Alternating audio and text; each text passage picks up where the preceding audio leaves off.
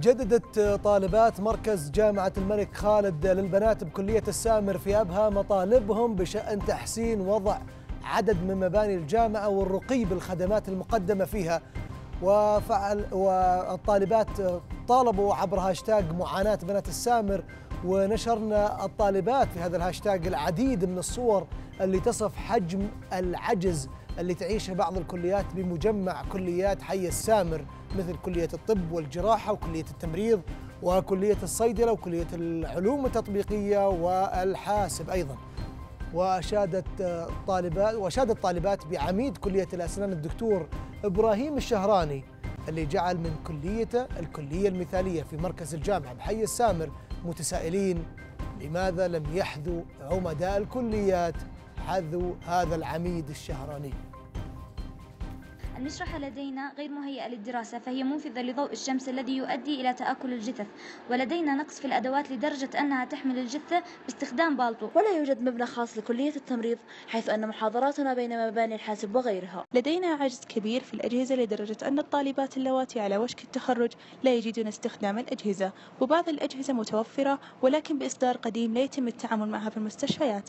القاعات أقل من حاجتنا ولا تستوعب عددنا الكبير. وأغلب المكيفات في هذه القاعات معطلة ولا تعمل بالإضافة إلى قلة كفاءة مستوى الكادر التعليمي من الجالية الهندية. والمعامل والمبنى بشكل عام متهالك إلى أبعد درجة. أسلاك الكهرباء في الأرض بشكل عشوائي ويوجد لدينا ممر أغلق بألمنيوم ووضعوه معمل للحاسب ما هذا الإهمال. الأجهزة غير متوفرة وإن توفر القليل لا يطبق عليها محاضرات العملي. بحجة أن التطبيق يكون فقط في المستشفى وندرس مادة العملي نظري. عدم توفر أدوات للتطبيق عليها مع وجودها في المستودعات والرفض في إعطائها لنا. عدد من المعامل لا تحتوي على البرامج المخصصة لدراسة المنهج. تخصصات كلية العلوم الطبية التطبيقية لعدم توفر مبنى خاص بها يتم إعطاء المحاضرات في مركز مستشفى عسير وفي مركز السامر وهي مركزين تبعدان عن بعضهما مسافة ربع ساعة بالسيارة حيث يتوافق بعض الأيام وجود محاضرات في المقرين في نفس اليوم والطالبات لا يملكن وسائل نقل مما يجعلهم يضطرون لسائقي المشاوير الخاصة. إحنا أخذنا صوت الطالبات لأنه ما نقدر ندخل الكلية فايضا بناخذ أيضا مطالبهم في هاشتاج معاناة بنات السامر اللي اطلقوه طالبات المركز الجامعي لدراسة الطالبات بالسامر بجامعة الملك خالد. هذا الوسم ما تنتهي من البحث عن مشكلة إلا وتظهر لك مشكلة ثانية في نفس التغريدات اللي البنات يغردون فيها. نبدأ بتغريدة ميرا اللي ذكرت كلية كلية تخرج سنويا طبيبات وأخصائيات وممرضات وغيرهن تكون بهذا الشكل. المبنى متهالك والمعامل والمعامل أدواتها غير متوفرة وأيضا قديمة. أما سارة سارة آل عبد الله تخيلوا أن الجامعة اللي تخرج طبيبات تخرج طبيبات بهذا الشكل والأجهزة والأدوات الطبية ناقصة والمباني متهالكة وأيضا تقول أنه الخدمات معدومة. إلى تغريدة وجدات اللي قالت طالبات طالبات الطب والجراحة ما لهم مبنى خاص فيهم. مستوعبين ذا الشيء؟ هذا تساؤل من وجدات عن عن الوضع العام عندهم في الكلية. غردت واحدة من الطالبات الأقسام الصحية للعلاج الطبيعي لا يوجد أجهزة نطبق عليها ونفهم عمليا وين اهتمام المسؤولين. ختاما طالبت ريم وفروا لطبيبات المستقبل بيئه دراسية صحية. طالبات جامعة الملك خالد اللي في السامر معاناتهم حقيقية من صرف صحي ونقص في الأجهزة ومتطلبات أي جامعة أساسية غير أن بعض التغريدات اللي ذكرت أن البوفيهات في الجامعة غير مهيئة لتوفير وجبات صحية للطالبات. معي الحديث حول معاناة بنات السامر عميدة المركز الجامعي لدراسة الطالبات بجامعة الملك خالد في أبها الدكتورة شنيفة القرني. أهلا دكتورة. هلا حياك الله. يا مرحبا.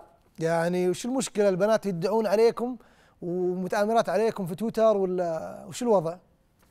طيب في البداية يعني أنا أود أن أشكر قناة الإخبارية على اهتمامها وتفاعلها مع مع الموضوع وهذا شيء ما هو مستغرب طبعا القناة السعودية رائدة تمتاز بالشفافية والحيادية.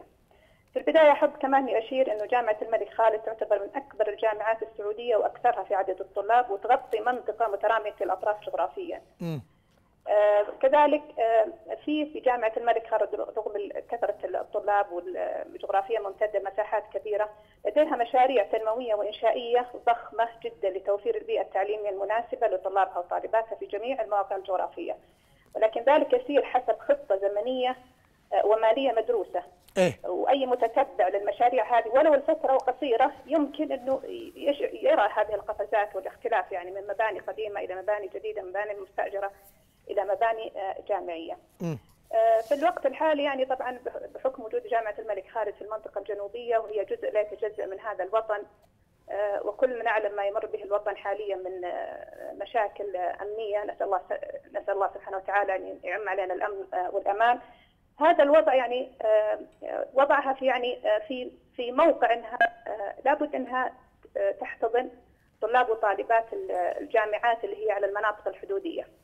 طبعا هذا آه، نقول زاد العبء فعلا على جامعة الملك خالد ومن ناحية ال- الطاقة الاستيعابية كم زاد يا آه، دكتورة؟ والخدمية. نعم كم زاد كم بالمية آه، يمكن يكون في حدود آه، 30% وك- وزائد كمان ال- العدد ما زال يعني مستمر طيب هذا دكتور الله يعافيك. اللي ذكر طيب اي تفضل. خل... خلصت. طيب أنا خلي خلي تخلصين تقدمين هالمقدمة الجيدة بس أنا بقول لك إنه وجود طالبات من من نجران ومن جيزان ومن أي منطقة هذا ما. ما يعني انه إنه الوضع سيء جوا جوا ال... ال... ال... الكليات. المعامل سيئة ما في معامل البنات يشتكون من من من دورات المياه السيئة القاعات صايرة مرة سيئة للطالبات المعامل مضروبة. هذا ما له دخل إنه في طالبات جايين من نجران ولا من جيزان ولا من أي منطقة ثانية. لا لا أنا أنا أقصد إنه هذا يزيد, الطاقة الاستيعابية عندنا. يعني مثلا إحنا عندنا ضغط. يعني بالله عليك يا دكتورة. دكتورة. يزيد الضغط علينا. لو تشوفين التلفزيون- بس أنا أرد على ال- الكلام. لا لا صبر أنت تشوفين معي الصور؟ أي. أنا أشوف هذه ما لها دخل. بالزحمة. الزحمة معذورين أنا فيها أقول لك. لا لا لا لا. خليك معي لو سمحت. سمي. الحين اللي اللي ذكر واللي آه، يعني آه، تم يعني آه، تواجد يعني في التويتر والأشياء هذه كلها إيه. آه، هذا شيء أنا شخصيا كعميد المركز الجامعي لا أنكره ولا أم ولا يمكن أن أتجاهله وأنا موجودة مع الطالبات في نفس المباني. اتفقنا كويس إنه المركز الجامعي المركز الجامعي لدراسة الطالبات هو موجود أصلا في موقعين. الموقع الأول آه، مبنى للجامعه داخل أسوار آه، مستشفى عسير وهذا إن شاء الله ما عنده أي مشاكل لأنه مبنى جامعي.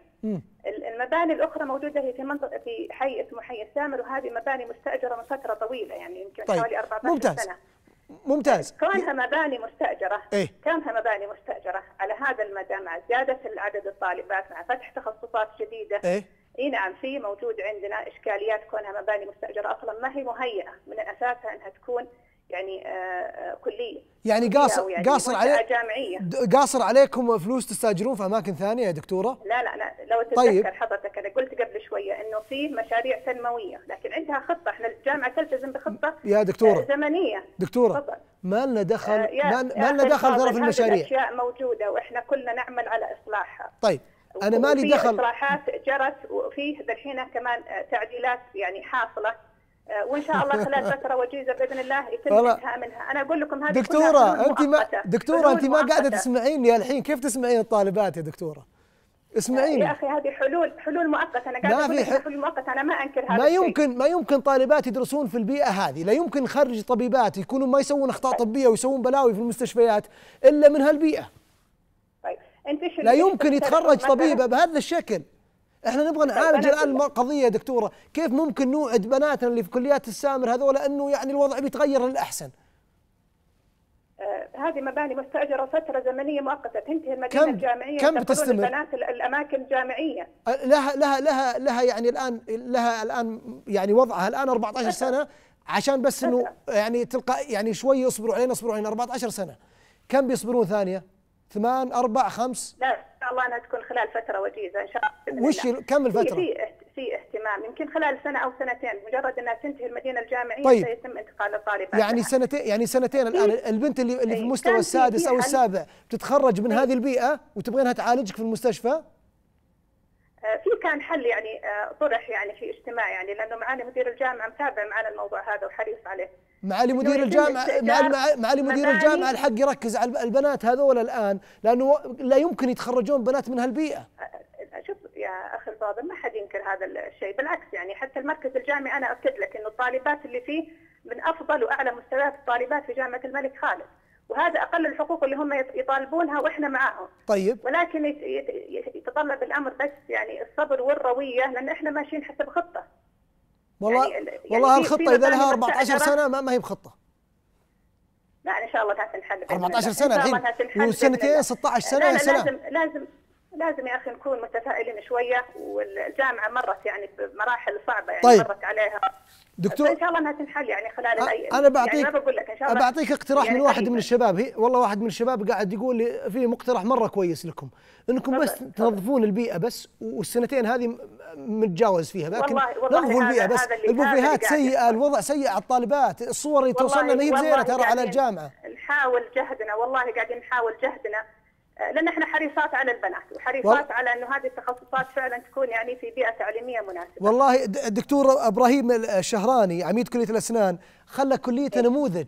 يعني حاول يا دكتورة انه قدر الأستطاعة تعدلون في الوضع عشان عشان البنات اللي عندكم اللي أنتم مؤتمنين عليهم الآن. يعني طيب. إبراهيم الشهراني اشتغل اشتغل شغل مرة كويس والكل يشكر في الرجل. يعني خلوه خلوه يعني صحيح. مسار لكم. خل ها صادقوا الرجل يعني. طيب هذه كلية طب الأسنان هذه جزء من ال- المركز الجامعي. ترى المركز الجامعي أيضا في كليات أخرى إيه. ولها عمداء.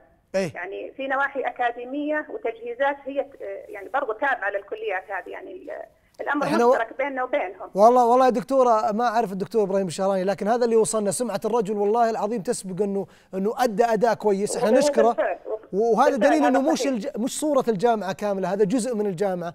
أتمنى يا دكتورة إنكم يعني تهتمون بالطالبات تجلسون معهم. آه، دكتورة شنيفة القرني آه، شكرا لك يعطيك العافية. وإن شاء الله نتواصل وأنتم ناقلين للمبنى الجديد في أقصر وقت ممكن.